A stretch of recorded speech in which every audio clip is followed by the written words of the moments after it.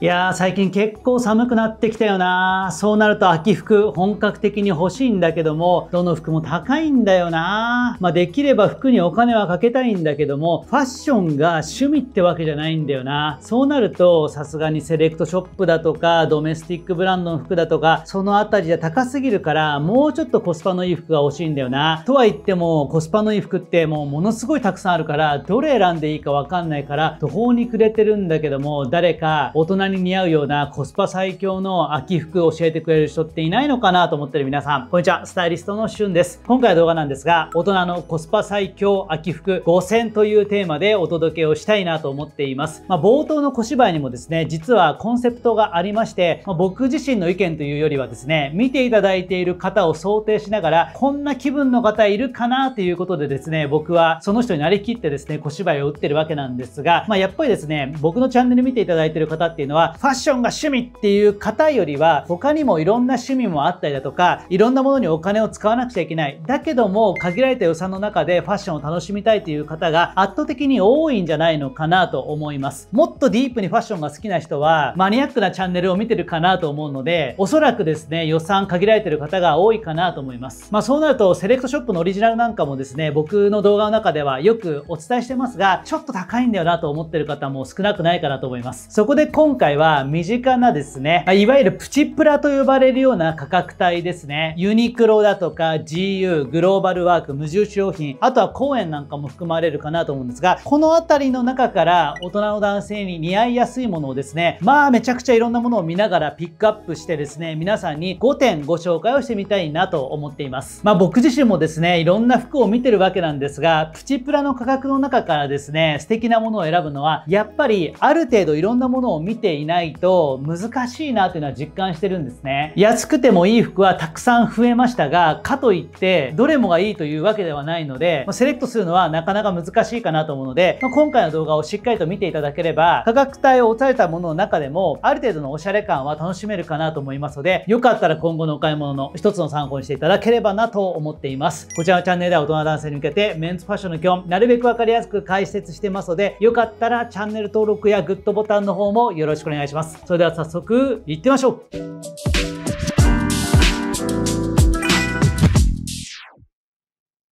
はい、ということで、ここからはですね、具体的に大人の男性に似合うようなですね、コスパ最強の秋服、まあ、秋後半編と言った方がいいですかね。このあたりを皆さんにご紹介していきたいなと思っています。まずはですね、僕のこういったシリーズの中では、アウターから行くっていうですね、なんとなくイメージがありまして、今回ご紹介したのはこちらですね、公園のサーモライトキルティングブルゾンですね。価格が1989円ということで、まあ、こういったアウターの中で1万円台前半、まあ1万1000円切っちゃってるので、これはかなりコスパはいいようなアウターになってくるかなと思います。まずはですね、アウターの特徴としましては、中綿の入ったアウターということで、秋後半から冬前半にはですね、非常にこういったアイテムって活躍してくれるんですね。僕もこの手のアイテムは大好きで、これまでにも何度も着てきたわけなんですが、ちょっとこうミリタリー調のですね、キルティングですね。ひょうたんキルトといって、このキルティングがこうひょうたん型になってるんですが、僕はこのですね、キルティングの仕様というのはとても好きなんですね。まあ、ちょっとカジュアルな雰囲気もあるんですが、ミリタリー感もですね、漂っていて、男らしさもですね、適度に漂うので、このあたりのバランス非常にいいなと思います。丸みのある、ちょっと丈の短めのアウターになっていまして、襟もですね、すっきりめになっています。まあ、ちょっとスタンドカラーっぽいような見た目にはなっていますが、襟は低めなので、割とですね、マフラー巻いてあげたりしながらですね、冬の前半ぐらいまでには使っていただけるんじゃないのかなと思っています。色はですね、オリーブとブラックの2 2色展開になってまして、これはですね、ちょっとこうミリタリーっぽいものって大体この2色で構成されることが多いんですね。まあ、ブラックの方がシャープでより使い勝手がいいかなという印象で、オリーブに関してはより男っぽいですね、ミリタリーライクな雰囲気になりがちなんですが、まあ、オリーブの中でも明るめと濃いめがありまして、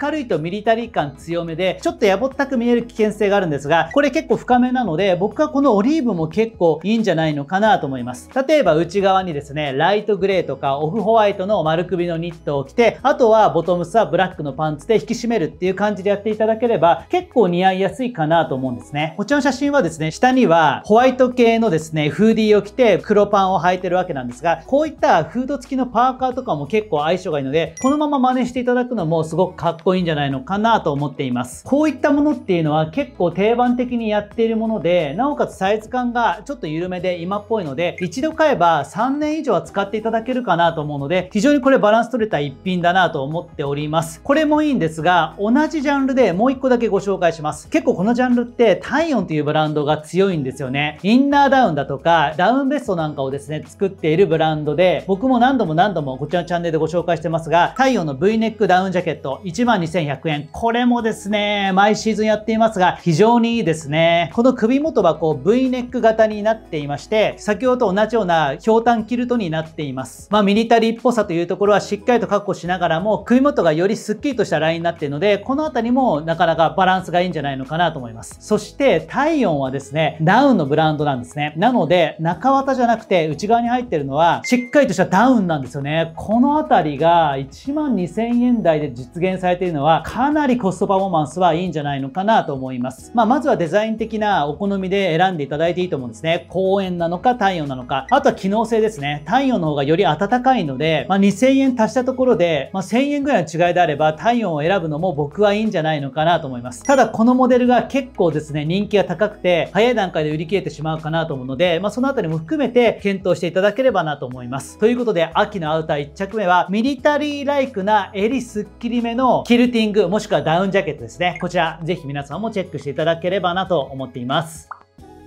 はい、続いて2点目のご紹介なんですが、アウターの内側に着るものですね。これはですね、やっぱり丸首のニットは欠かせないなということで、今回ご紹介したいのは、ユニクロじゃなくて GU ですね。ブラッシーニットクルーネックセーターですね。価格が驚きの2290円ということで、この価格で出していいのかというですね、心配に思う部分もあったりするわけなんですが、これはですね、うまく使っていきたいところだなと思っています。まあ、シンプルな丸首のですね、ニットではあるんですが、中中肉厚で薄すぎず厚すぎずでちょうどですね秋にこれを主役にして着るのもいいですしあとはもうちょっと季節が進んだら先ほどご紹介したキルティングのジャケットの内側に入れてあげるのもなかなかバランスがいいんじゃないのかなと思います。まあ、デザインはベーシックではあるんですが表面に起毛感があります。ちょっとこうニットらしいですねぬくもりを感じるような表面感になってるのでこの辺りもユニクロのニットとはまたちょっと違った雰囲気で着ていただけるかなと思います。でさらにはサイズ感ですねユニクロに比べると最初からちょっとっとゆとりがあるので、まあ、僕であれば身長164センチ53キロなので、まあ、小柄なんですね。まあ、ユニクロだったら M とか、場合によっては L を選ぶことがあるんですが、GU だったら M、もしくはちょっと大きすぎる場合は S でもいいかなと思うので、まあ、皆さんのいつものサイズを選んでいただければ、ほんのり今っぽさというところがちゃんと漂うので、これは使い勝手がいいんじゃないのかなと思います。カラー展開も豊富でですね、5色あるんですね。ただニットっていうのは、ブラックとかも悪くはないと思うんですが、結構シンプルなので、ちょっと綺麗なな色を選んでいただくと僕はいいかなと思っていまして、まあ、例えばですね、先ほどのちょっとこうミリタリーライクなですね、アウターの内側に着るのであれば、少し明るさを出して、ベージュですかね。この辺りもいいと思います。まあ、ベージュの中でもですね、コクが深いというよりは、少しグレーが混ざったようなベージュなので、着ていて明るさも出せますし、ミリタリーっぽいアイテムと着てもですね、重たくなりすぎないので、このベージュなんかはすごくいいんじゃないのかなと思います。あとはですね、先ほどのアウターをブラックにするんだったら、内側パープルにして、少しアクセント的に使ってあげるのもいいかなと思います。このパープルがなんかすごく良くて、まあ、癖の強そうな色ではあるんですが、パープルの中でも比較的色濃いめなので、割とですね、差し色としては使いやすいんじゃないのかなと思います。まあ、価格もですね、2290円ということで、ちょっとぐらい冒険してもいいかなと思わせてくれるところも GU の良さでもあるかなと思います。首元からちょっとだけ白 T を見せてあげれば、意外と似合いやすいニットかなと思うので、僕はこのパープルもですね、一押しになってきますね。ベ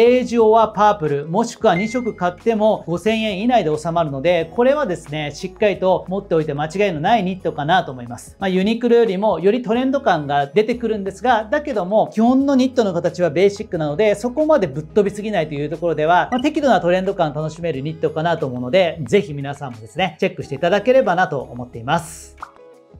はい、続いて3点目もトップ2皆さんにご紹介したいなと思ってるんですが、まあ、ニットときたらその次にはやっぱりシャツですね。まあ、僕らしいセレクトになってくるかなと思うんですが、まあ、こちらご紹介したいなと思います。同じく GU のデニムウエスタンシャツになりますね。価格がこちらもなんと2290円ということで、まあ、恐ろしい価格帯ですね。まあ、買いやすいので、まあ、ぜひ皆さんにもご紹介できればなと思っています。僕はですね、デニムシャツが大好きなんですね。まあ、昔から好きでいろんなものを買ってきました。まあ、アイテム単体で見るとすごくカジュアルなのがデニムシャツの特徴なんですけども、このデニムウエスタンシャツというものをですね、どう着るかによって結構大人世代でもハマるかなと思ってるんですね。僕も未だにですね、こういったものをたくさん持っているんですが、こういったデニムの素材感で色落ち感のあるブルーですね。こういったものを選んでいただいて、ボトムスはブラックでギュッと引き締めれば、それだけでも結構素敵に決まりやすいんですね。ただそれだとちょっとカジュアルに見えるかなという場合に、例えばこの上にですね、ちょっとざっくりめのジャケットを着てみるだとか、セットアップの内側にこのようなデニムのウエスタンシャツを合わせると結構ハマりやすいんですね。襟付きのシャツが持つ小綺麗さとデニム素材のカジュアルさというところが程よく混ざってるのがこういったデニムシャツの良さなんですが、こういったものをちょっと綺麗なジャケットだとか、あとはロング丈のステンカラーコートだとか、チェスターコートの内側に入れてあげるだとか、そういったスタイリングもめちゃくちゃかっこよかったりするんですね。まあ、カジュアルな相手もあえて綺麗めなものと合わせるというところでは結構持っておくと便利なので、まあ、ブルーをぜひ皆さんにお勧めしたいなと思います。ただちょっとブルーはカジュアルすぎてむずいかなと思う方は、ブラックをぜひ選んでみていただきたいんですね。まあ、ブラックといってもですね、真っ黒ではなくて、ちょっとこう、着古したような、スミ黒とかダークグレーに近いような色合いなので、重たすぎないんですね。で、これはですね、着るだけで結構大人っぽく見えるんですね。まあ、ディティールがこう、ウエスタンシャツということで、このポケット前だとか、ボタンなんかがですね、ちょっと特徴的なんですが、まあ、こういった部分も、このブラックにすることで、割とこう、色が沈み込んで、そんなにこう、派手には見えないので、意外と使いやすいかなと思います。今年はデニムジャケットとか、カバーオールみたいなものが引き続きですね、トレンドになっていますが、そういったものではなくて、こういったシャツでデニム系のアイテムを使って、外側にアウターを1枚羽織れば、結構いろんなスタイリングができるかなと思うので、まあ、ぜひ皆さんにもトライしていただきたいんですね。まあ、2290円ということで、この価格帯で買えるのはなかなかいいと思います。まあ、ブルーにしてもですね、加工の雰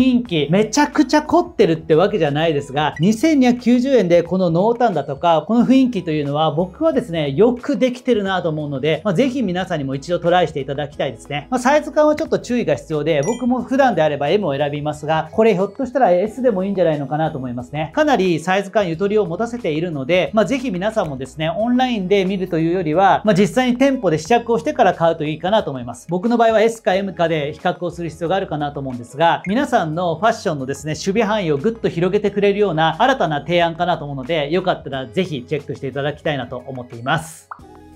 はい、続いて4点目のアイテムなんですが、これはですね、無印良品から選出をしてみました、紳士素材に変えるフリースカーディガンですね。価格が2990円ということで、ちょっと今値段見てびっくりしましたね。まあ見た感じからすると、4990円ぐらいかなと思ったんですが、なんと3000円切るとは思わなかったので、結構驚いています。まあカーディガンの形ではあるんですが、いわゆるこうニットカーディガンではなくて、素材はフリースになっています。まあデザインのベースはこうミリタリーワークっぽいいもので、僕のイメージで言うと、ユニクロとエンジニアドガーメンツのコラボレーションとか、あとはユニクロとホワイトマウンティニアリングのコラボレーションとかで作りそうな、まあ、そういった雰囲気のですね、ちょっとこうワークミリタリーを感じるようなアイテムで、これはですね、結構ワンマイルウェアからちょっとしたアウトドアだとか、気軽なですね、日常着として非常に使いやすいんじゃないのかなと思います。デザインもすごく個人的には好きで、襟元はですね、V ネック型になっているんですが、角がなくてちょっとこう丸みがあるような形でラインが作作られています。まあ、その部分もですね、ちょっとラウンドするような形で、柔らかみもあって、こう、ハードすぎないような見た目になってるんですね。まあ、素材使いなんかもですね、結構工夫をしてありまして、再資源化しやすいように、あえてですね、単一素材で作ってるんですね。このあたりのですね、環境配慮型のアイテムというところも満足度が高いような一着かなと思っています。まあ、カラー展開は4色になっているんですが、個人的にはまず、チャコールグレーですね。これが一押しです。まあ、グレーと言いながらも、少しだけこう、グリーン味を感じるような、曖昧なグレーで深すぎずにですね、これまたすごく使い勝手がいいんじゃないのかなと思います。先ほどご紹介したような丸首のニットですね、ライトベージュの丸首のニットなんかに合わせていただいて、黒パン完成みたいな形でですね、気軽に使いやすいかなと思うんですね。あとはロンティーの上に着てあげるのもいいかなと思うので、これは使いやすいなと思います。あとは安定のブラックですね。このあたりもすごく使い勝手がいいんじゃないのかなと思います。まあ、ブラックもですね、このボタン周りにちょっと違った素材を使ってありますので、光沢感だととか、ブラックの中でも色味が微妙に違うので、まあ、このあたりのおかげで退屈に見えないのもなかなかバランスがいいかなと思います。ブラックかチャコールグレーですかね。まあ、カーキグリーンに関しては僕の中ではちょっと明るめかなという感じがするので、チャコールとかブラックの方が優先順位は高いかなと思います。まあ、ちょっと寒くなってきたら内側に着るものをモックネックとかタートルネックにすることもできたりするので、これもですね、結構使い勝手がいいかなと思います。あとは季節が進めばロング丈のコートの内側にですね、ミドルレイイヤーとして取り込むこともできたりするので、意外と使える季節も長いんじゃないのかなと思います。この感じで、まあ、価格帯も含めて結構気軽に使いやすいようなアイテムになっていますので、まあ、ぜひ皆さんこちらチェックしていただきたいなと思います。まあ、無印良品とユニクロって結構近しいアイテムがあるイメージなんですが、これはですね、現状のユニクロのですね、通常ラインでは扱わないようなデザインなので、今後ですね、コラボレーションでなんか出たらちょっと話は違ってくるんですが、今年買うのであればこれ、コストパフォーマンスも非常にいいアイテムなので、まあ、ぜひ皆さんですね、チェックをしていただければなと思っています。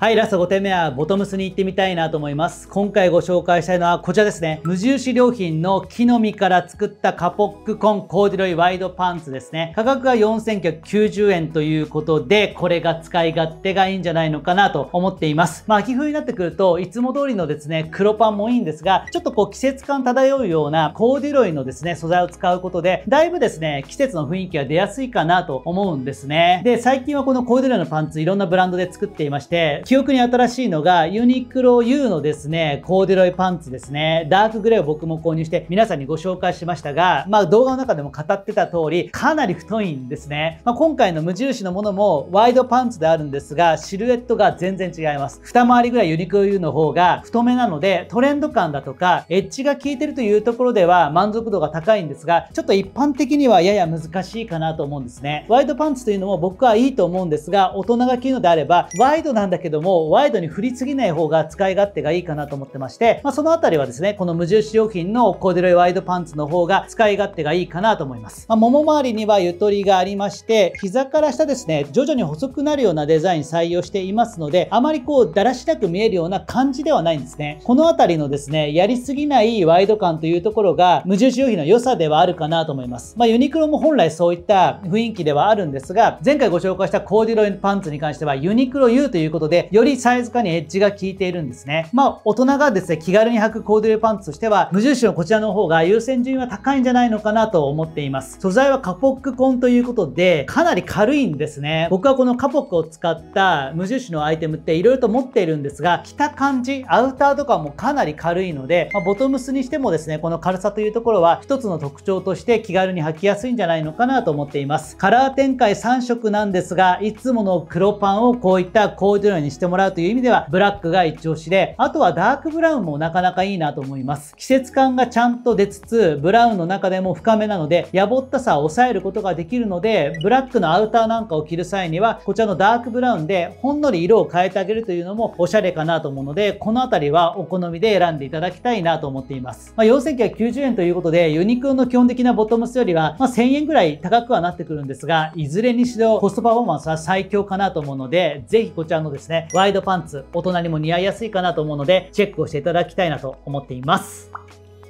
はい、ということでいかがでしたでしょうか？今回の動画では大人に似合うコスパ最強の秋後半服5000ということでお届けをさせていただきました。今回の動画も朝からですね、いろんなサイトを渡り歩きながらですね、まあ、ああでもない、こうでもないと言いながら選出をしたわけなんですが、まあ、どれもですね、非常に使い勝手が良くて、プチプラの価格帯ではあるんですが、かなり満足度が高いかなと思います。まあ、ぜひ皆さんもですね、この中でこれはちょっといいなと思ったりだとか、普段の着こなし足りてないなというものがあったらですね、買い足してみるのもいいんじゃないのかなと思います。まあ、もうちょっと予算感ですね、余裕がある方は似たような雰囲気のもので、セレクトショップのオリジナルなんかで探してみるのもいいかなと思うので、今回の動画一つの参考にしながら、秋の買い物を楽しんでいただければなと思っています。これからもこちらのチャンネルでは大人男性に向けて、メンツファッションの基本、なるべくわかりやすく解説したいなと思ってるんですが、まあ、普段の動画の中ではなかなかお伝えしきれないような、セレクトショップのオリジナルから、もうちょっとですね、価格帯上げたドメスティックブランド、さらには専門ブランドなんかに関しては、僕はもう一つ運営してます、YouTube のメンバーシップチャンネルという方で、結構ディープに情報をですね、お届けをしています。週に2本のオリジナルの動画と、それに加えて週に1本ですね、週末にライブ配信も行っていまして、皆さんから頂いたご質問に直接お答えする形で、ワイワイ楽しくやっていますので、気になる方はこちらの動画の下の概要欄の方からチェックをしていただきたいなと思っています。また、普段なかなかですね、ゆっくり動画見る時間がないよという方のために、オンラインサロンっていうのもやってるんですね。こちらの方では動画じゃなくて、写真と文章でおすすめのアイテムですですとか、僕自身が実際に買ったものをですね、ほぼ毎日投稿しています。僕も記事を書いていますし、僕以外のスタイリストや専門家も記事を書いてくれています。また、参加者の皆さんも気軽に記事アップできるので、まあ、いろんなですね、ファッションが好きな方が集まって、ワイワイ楽しめるようなコミュニティになっていますので、気になる方はこちらも概要欄の方からチェックをしていただきたいなと思っています。以上、スタイリストのシュンでした。また次回の動画もお楽しみに。